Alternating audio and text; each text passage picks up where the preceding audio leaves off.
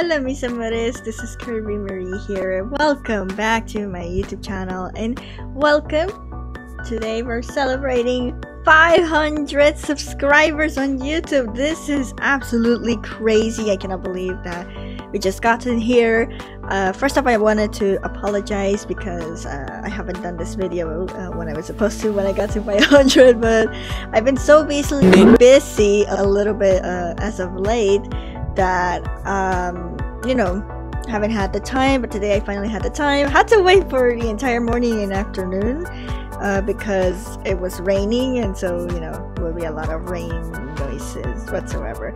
Anyways uh, today as a celebration of a special milestone today we're going to be doing another Q&A section. And I already got some questions from some of you guys Thank you. If you want to participate in the next Q&A, uh, you can follow me on my social medias, which I'll be putting in the link in the description, Twitter, Facebook, Instagram. Uh, I also have Discord, and you can check me out there, and you can, or you can, I don't know, submit a, question right here on the comments, and I'll just do it for the next video. Alright, so we're just gonna get started with the questions and see what you guys have for me today. Alright, the first question is from Mango. Hi Mango! Do you think the future of games will be great? Absolutely, especially in 2022 with so many great upcoming games like God of War, Ragnarok, Horizon Forbidden West, uh, the Callisto Protocol, many, many more games. I definitely see more improvement in video games and how um, very more creative the developers have become and how uh, fantastic uh, the new entries keep coming in and I'm very excited for the future of video games in general. If you were to get rid of one console, which one will it be? Xbox. Next is from Nix Galaxy! when did you get married? Pretty basic question. Uh, I got married on December 19, 2020. Next month will be our year of anniversary of marriage. it's been uh, uh, one of the best things that has ever happened. I love my husband so much. I appreciate him. What's your husband's name? John. His name is John. And how old is he? Well, he is almost 26 years old. Next one is from Punk Shroom. Have you thought of streaming on YouTube instead of Twitch? It's not that I haven't thought about it, it's that I already have done streaming on YouTube before and it hasn't been a very a pleasant experience and so I was just pre-recorded live streaming until obviously I got into Twitch and Twitch is a much more better platform in my opinion in terms of streaming at least than with YouTube. I sometimes uh, do pre-recorded live streams on YouTube for those that don't have Twitch or just don't want to have anything to do with Twitch. But yeah, uh, I have thought about it and no, I just don't like the idea of actually doing live uh, streams on YouTube. And I wouldn't recommend it to anyone uh, unless it's pre-recorded. And that's about it. How do you stay motivated with streaming and making videos?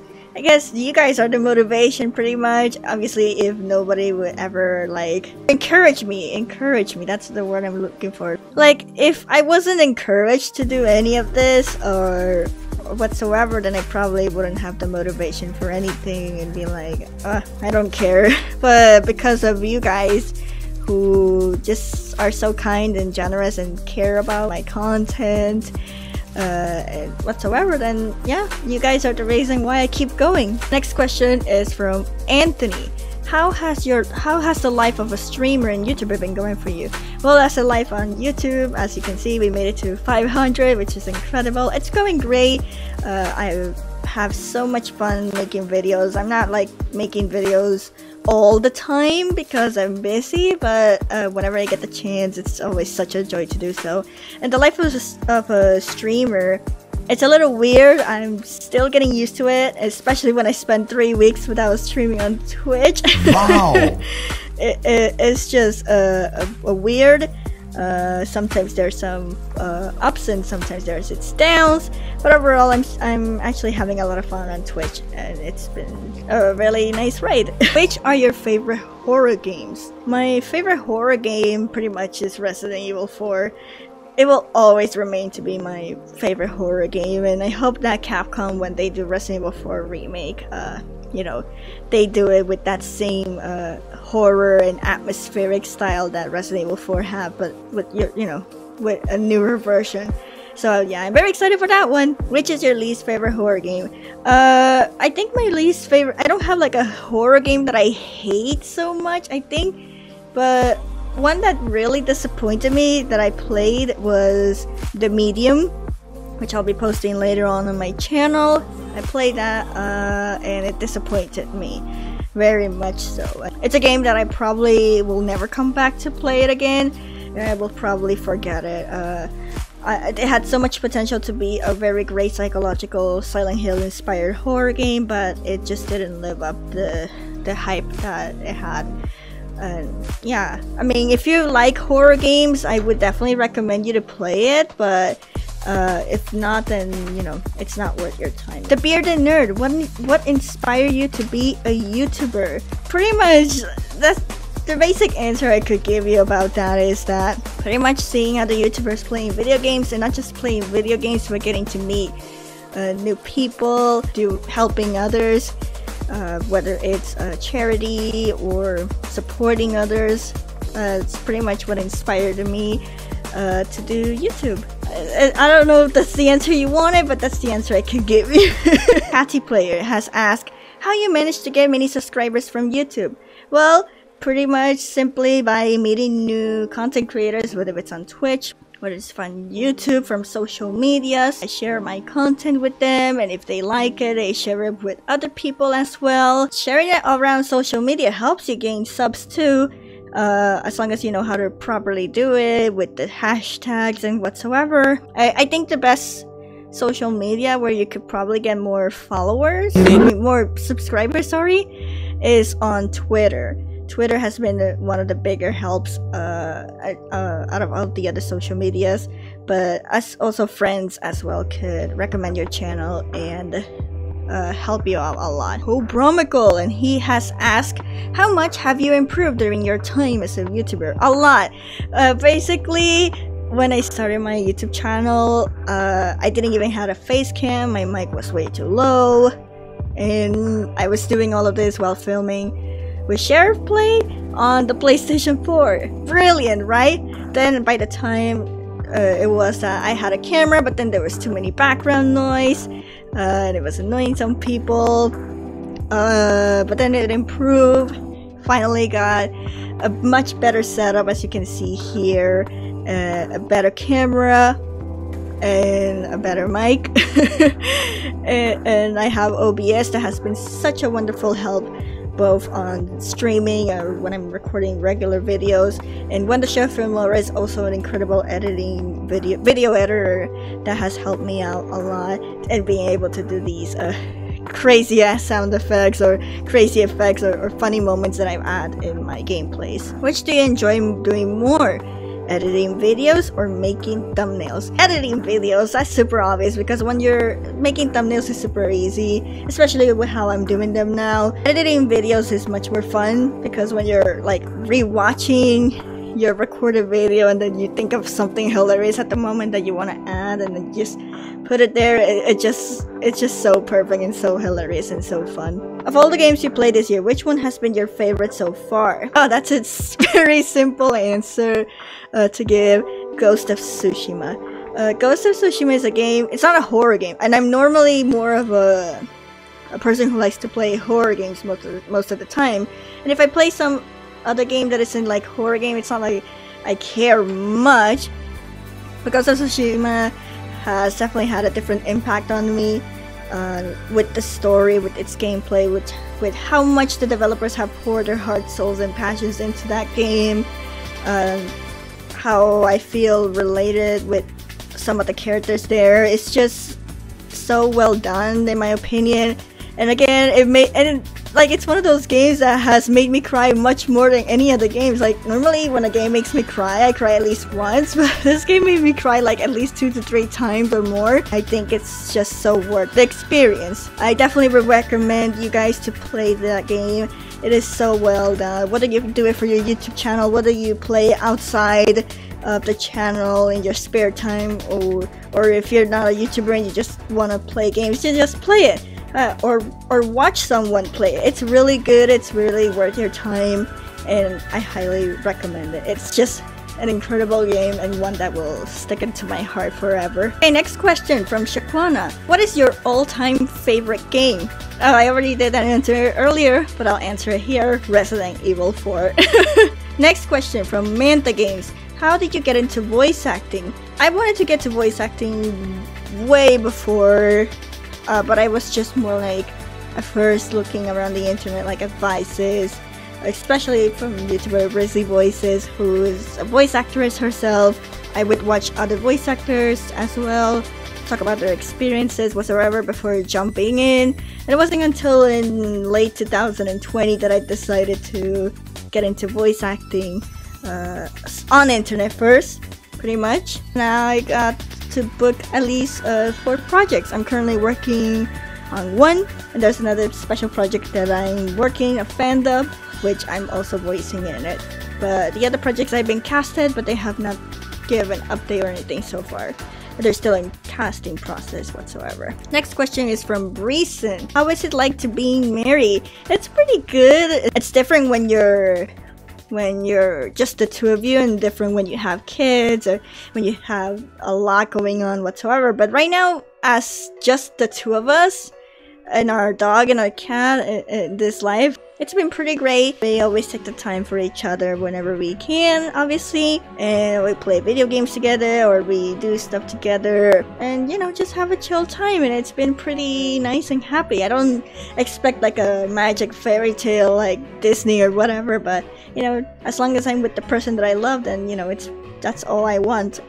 What's your favorite TV show? Yeah, I don't watch a lot of TV shows. I'm, I'm really weird. I, I used to watch a lot of Disney shows back in the day. I guess my favorite one could be Good Luck Charlie, but um, I rarely watch movies and TV series, so don't ask me questions about that. And don't ask me much why. I know it's weird, but that's just how I am. I just don't watch series much or, or movies. I, I just I can't stand still when it comes to movies or, or TV shows. I, I literally cannot. Next question is from Kevin Gaming. How do you overcome depression? Oh, deep question. I would say one of the things you can do pretty much in to overcome depression would be meditation or if you're a religious person then praying spending time with positive people around your life is a good way to not be depressed and it's not good to be spending time with a lot of negative people. Uh, so yeah spend time with positive people. So just being thankful for small comforts or being thankful for the people in your life and how helpful they have been. Being thankful for everything you have in your life by doing stuff that you love uh, without having anyone to stop you to tell you that you can't do something that you like because it's not something that they like as long as you do what you love, then you're you'll be happy with that. Listening to music helps in a way, as long as you're not listening to a very sad, depressive music. You know, music that can uh, help you feel relaxed or make you dance or whatsoever. That that sort of thing helps me. So obviously, if you wanna if you want to overcome depression, you can seek therapy as well. It's nothing wrong with uh, seeking therapy and getting help when, if no if you don't have any other help for you. Yeah, that's about it. What I can say. I, I don't know. I hope I did everything uh, I can to answer that question. It's a really very deep and tough question, but. Uh, thank you for asking it anyways, Kevin. Next question is from Azur Ali, Ali. what are the three games that made you cry? What are the three games? I pro you probably should have asked what are the games that made you cry because I cried in more than one game. Uh, I, I, like I said earlier, I cried in Ghost of Tsushima like a couple of times. Beautiful game. I still love it and appreciate it. Uh, Silent Hill, the finale, Silent Hill 2 made me cry uh, as well in a weird way. It Takes Two also made me cry in the Detroit Become Human did make me cry too. And for some reason, Assassin's Creed 4 Black Flag uh, also made me cry in a particular death scene of a very important character. It made me cry. I'm just a very emotional person. Oh, I also cry on mobile games like The Freshman, uh, on the finales with uh, the whole Professor Vasquez cancer and everything. That, that I'm telling you, I'm I'm a very very emotional uh, person. What was the hardest boss you had done in the game? I died 40 times with that bastard. 40 times, like that's embarrassing. what are your top three favorite storyline games? I would say Ghost of Tsushima, Detroit Become Human. I could probably say Final Fantasy VII as well, the, especially the remake. It's such a very great story, and I had a lot of fun with that too. Next question is from Scared for Science. As an aspiring voice actor, is there a specific character you would one day love to voice act? Definitely, uh, Claire Redfield from Resident Evil 2. She's been one of my favorite Resident Evil characters since I was a child, and literally Resident Evil 2 is like the first horror game I played. So, uh, uh, playing as Claire, uh, you know, I admire her so much ever since then, and I would love to voice her as well. I would also like to be in any Final Fantasy game, whether if I'm a major or a minor character, but it's just Final Fantasy games are so cool as well. Being in horror games, voice acting for horror games. That's the thing, I only want to do voice acting for video games. I'm not looking for voice acting for anything else in video games. I, I and I would love to be to voice a character for those Dark Pictures Anthologies games as well one day. So yeah, that would be cool. It's from Rini. Rini, I hope I'm pronouncing it right. Is there any tips for doing voice acting and how do you uh, lower your voice during? Like, I don't know if you meant by during recording or when you're like editing the video, because if it's editing, I can explain, but like if it's like during the during the recording in that moment, I wouldn't know much. Probably just lowering your voice.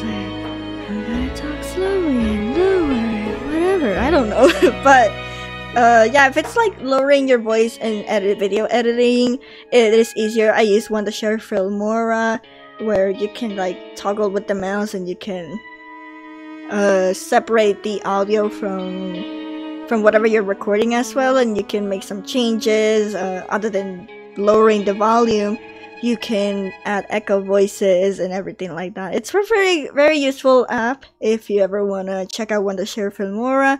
It really helps out a lot. Now, in terms of tips for doing voice acting, gosh, I came prepared. Voice acting is pretty much acting. Like it isn't just about making silly voices like I sometimes do with voice impressions or have a nice sounding voice. Uh, you know, it's it's all about how you can believably act. You know, you have to not just make a silly voice, but you have to also act like it, like adding emotions whatsoever. But and if you ever feel like you need to improve on that, you can sign up for acting classes or improv classes. I think you can check out on social media whatsoever. I don't know much about those. Another thing is that it's important to have a good home studio and not like a perfect one, but a well taken care one uh, kind of studio.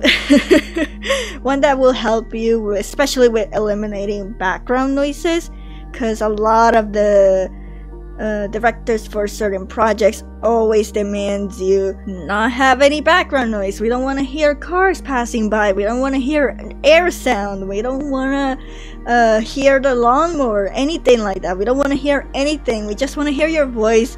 And so home studios help you out with that too. Also, by getting a good mic and good other equipment help you out as well.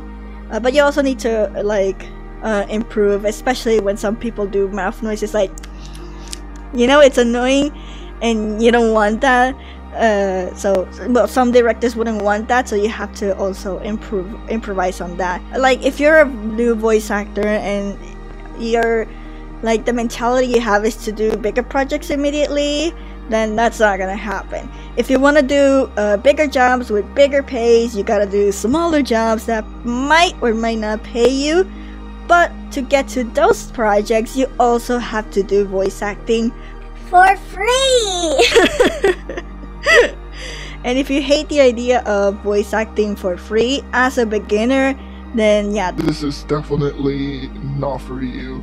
Uh, because number one, you need to see this as uh, something fun, like a hobby, something you have fun and enjoy making, like bringing a character to life, being a different kind of character when you're voicing. It, yeah, you have to have that mentality. And also, number two, it helps you practice and get experience for bigger projects. So, it's definitely recommendable to start uh, working on free projects if you want to do any sort of bigger projects uh, to get experienced in that sort of sense. There are fan dubs like the one I'm doing with the Crown and the Flame. There are uh, small indie games for free. You can also do audiobooks, commercials. You can also participate in YouTube videos from other content creators who are looking for, you know, voice actors as well. Or you can pretty much create uh, your own projects like I did with the Crown and the Flame fan dub. You can create fan dubs or you can create a completely new project of yours. If it's a fan dub, as long as you're giving recognition to the person who originally made the project, then you're good for it. But if you don't, then yeah, that's a problem. So you always have to uh, give credit to the person who originally made this. Uh, you can do fan dubs like I did once with Christina, where uh, there's an existing game, Final Fantasy XIV, if I'm not mistaken. We did a short little fan dub where I voiced Lightning and Christina voiced uh, I don't remember the girl's name, but it was the sister of Lightning. uh, Sarah, I think it was. Uh, we did a little short. I'll put a link in the description if you want to check it out. You can do like short videos like that, and having a YouTube channel as well helps out a lot. I've, you know, done voice impressions, and it's more me practicing. I also play uh, the game of choices, which helps me uh, a lot and practicing voice acting and doing other types of voices. Anyways, back to the point. Uh, yeah, you need to get practice, be experienced, uh, you know, and eventually those type of things will help you create your demo. Don't do the demo yourself. Demos can help you get agents, um, and then these agents can uh, help you get very bigger projects uh, that you know are sometimes very hard to find. And a lot of the big projects are mostly in los angeles pretty much so yeah. Basically if you want to work on bigger projects you pretty much practically have to live in los angeles if you want to get into the bigger projects. But you can also uh, check out texas they do anime especially from crunchyroll i don't know if crunchyroll i think crunchyroll was recently bought by a different company but i'm not sure if they still work there in texas you have to look for that information yourself. Websites that I, you know, can I can recommend you to check out for voice acting. Pretty much Casting Call Club. That's where I did uh, my project for the fandom, The Crown of Flame. Uh, you can audition for other projects there. Some of them are free, some of them are paid. Uh, you can also check out Voices123. Uh, you can check out voices.com. It's, there's two separate sites, by the way, two different sites. Uh, you can also check out on Twitter. What was the name of the site? you can check out on Twitter on a particular page that I like to check out a lot called VA Casting Call RT. Uh, I found some very interesting projects there. Right now, they are looking. Right now, the most recent one that I can find is that they are looking for uh, uh auditions. Uh, for a game is it? Yes, they're looking for auditions right now in this website on Twitter. They're looking for uh, to cast a, a, female character, a female alien, on a game called Arles the Wanderer. They are submitting auditions until the 15th of November, just to tell you right now. And so yeah, you can check it out, and they leave information on the auditioning process so you can check it out. I'll, I'll put all those links in description. You can also check out itch.io. I recently discovered that they have done uh, casting calls as well. Uh, I have not auditioned for any of those projects, but you can check out there as well. And also, you can check out uh, the YouTube channel Brizzy Voices. I'm going to leave her link in the description too. Also, there's a website from Dee Bradley Baker, a very famous voice actor, incredibly and talented person who has a website with very uh, incredible advices for new beginners in voice acting as well, which I will leave a link in description too. Anyways, that's pretty much it for all the Q&As of today. Thank you all who participated in this Q&A. If you didn't participate in this Q&A wish to participate in the next one, you can check out my social medias on the comments. You can also uh, pretty much leave your comment uh, of, the, of the question in this video if you like for the next occasion. And yeah, thank you guys so much. It's been such an incredible journey. 500 subs. I thank you all so much for the love and the support. And let's keep the family growing. And I'll be seeing you on the next new video. Goodbye.